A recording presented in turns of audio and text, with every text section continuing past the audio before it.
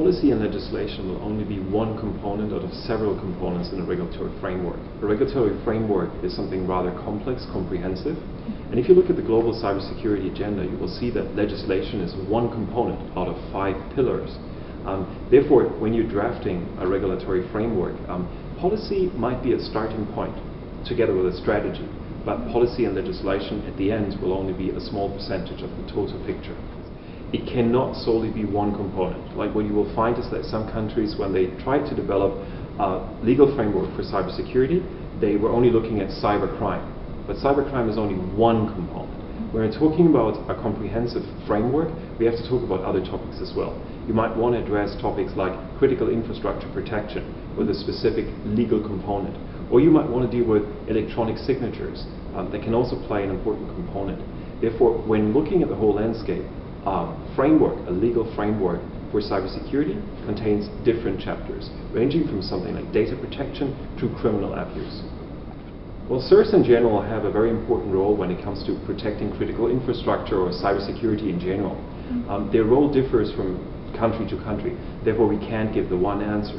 But in general what we can say is that a CERT has a certain technical knowledge and it can play a role as an advisor within the government um, and can explain what are the, the situations that we're facing it right now, what are the phenomena that we're confronted with, what are the challenges that we're facing.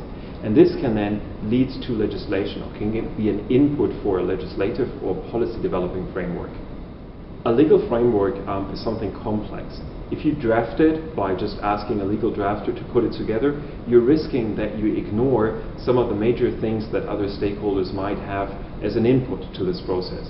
Therefore, my recommendation would be to start with an assessment, first of all, to analyze what is there in place already. You don't want to duplicate. So before drafting legislation, you would analyze is something in place already.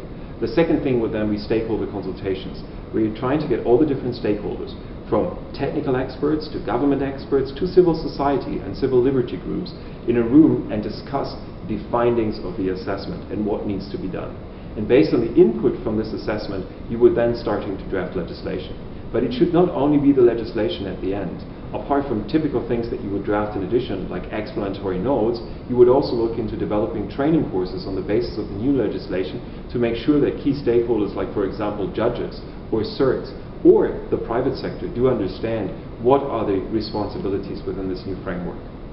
Well, actually, there isn't much consensus. Uh, what we've seen is on the international level, um, a couple of General Assembly resolutions on the UN level uh, this is certainly a very important way forward. Mm -hmm. However, when you're looking at the discussion of the international community on a topic, one component of cybersecurity, which is cybercrime, you will see that there is not really consensus so far.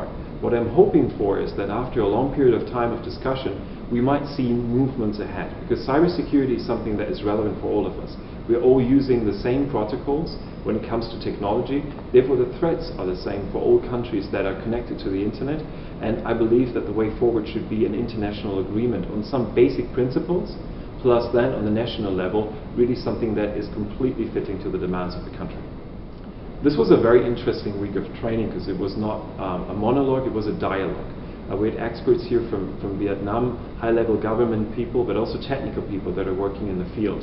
And it was very interesting to see on the one hand side they had very precise ideas of where they want to move on, what their questions are. So we discussed topics that they had asked us to discuss, but at the same time they provided some inside view on where they put the priority, what is currently in the focus, and what is the way forward for Vietnam.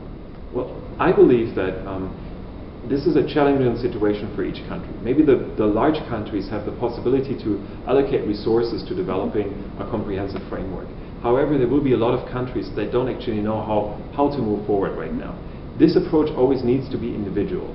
And this training course can give you an idea about what are the different components, what is the methodology we can use, what are best practices from other regions. And this will allow them ultimately to use this as a blueprint for developing their own national strategy.